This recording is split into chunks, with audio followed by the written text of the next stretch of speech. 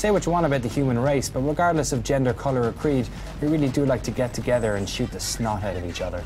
And ever since some programmer realised the small white pixel floating across a screen sort of looked like a bullet, we've been doing it in the digital world too. War games have evolved through the decades, entertaining millions at the expense of billions of digital dead. And in the future, when we look back at the history of war games from the comfort of our irradiated hovels, we'll remember one series of games among others, the game that introduced cruel insignificance to the shooter genre. This story begins back in 1942.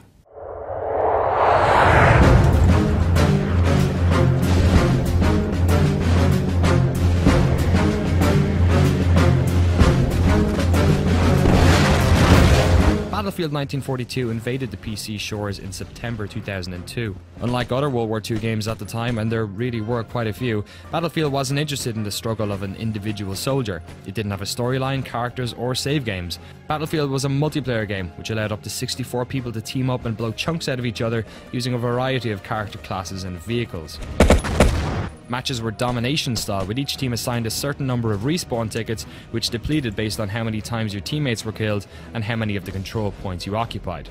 Maps were mirrored like most of today's online first person shooters. In 1942, you were defending or attacking, and the spawn points and resources available to you reflected that. You played as a soldier on either side of the Allied or Axis forces, the specific army depending on the battle you were recreating.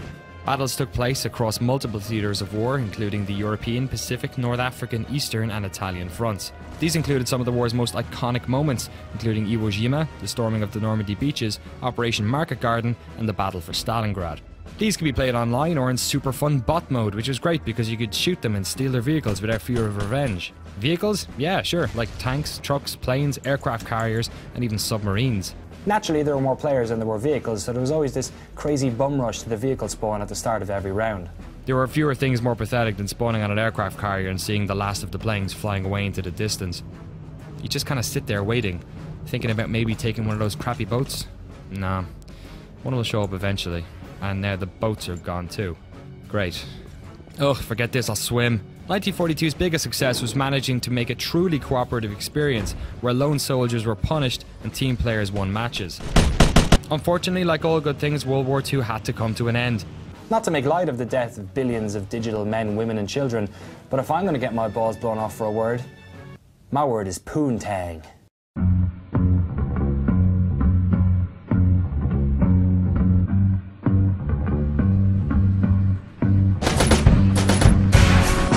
In 2004, DICE took the war to the Indochina Peninsula with the epically cool Battlefield Vietnam. Just like in 1942, an effort was made to ensure both teams used realistic equipment and tactics.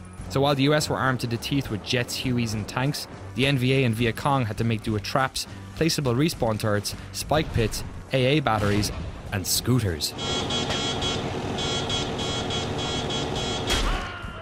The choppers were a massive game changer too, removing much of the distance between the air and land battles.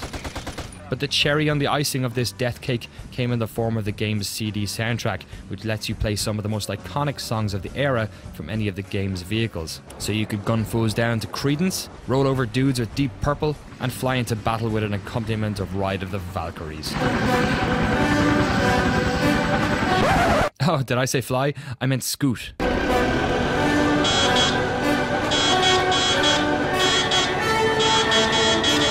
Even better, the game would let you play your very own music too.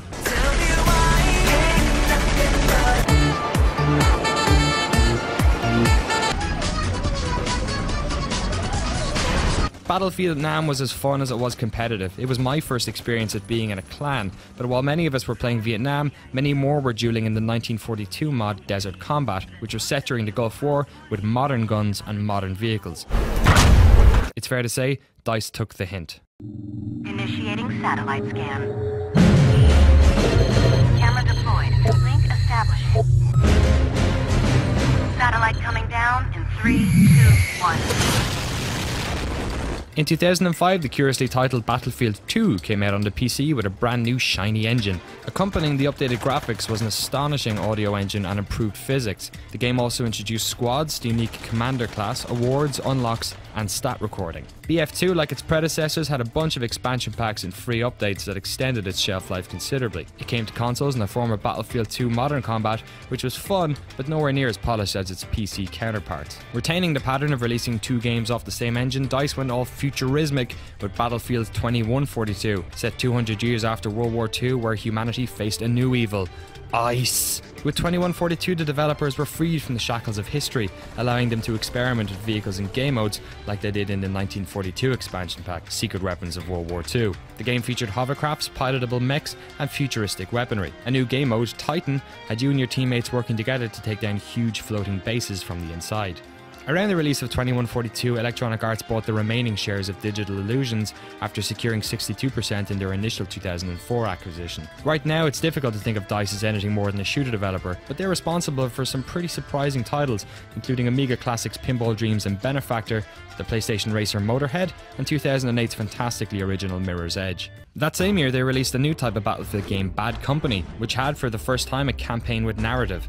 The story revolved around B Company, a ragtag group of military outcasts. The game's not so serious narrative struck a chord with gamers, who were probably sick of being told to care about the fake wars we were fighting in, and that was never Battlefield style. His name is Haggard.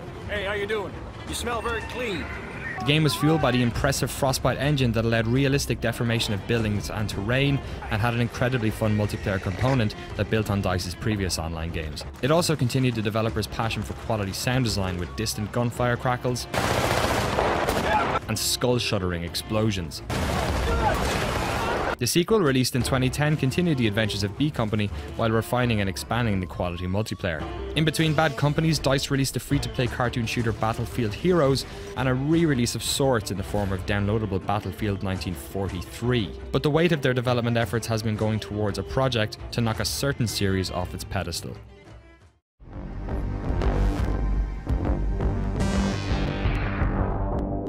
So here we are, a matter of weeks before Fight Night, and what we've seen of Battlefield 3 suggests DICE know where this series' strengths lie. Large scale warfare, envelope pushing graphical fidelity, superb sound design, vehicles, and destructibility. However, the most obvious broadside comes in the form of a more traditional single player narrative. Oh, and unlike Call of Duty, it has dinosaurs too, so it's already got the 4chan scene of approval. As with their previous games, I'm sure we can expect a bunch of expansion packs and updates, and it's fair to say that's probably where the battle will be lost or won. Both BF3 and MW3 will sell like hotcakes on release, but the real winner will be the one with the most troops once the firing has stopped. So what do you think? Did you play the old Battlefield games? Are you looking forward to Battlefield 3? Have you spent millions on a new computer? Tell us in the comment box below. Oh, and you may have heard that our review of the game is going to be a little bit late, as EA didn't send out press copies of the games early enough. So just stick your own score in the comment box and we'll average those out for the review score. That's how it works, right?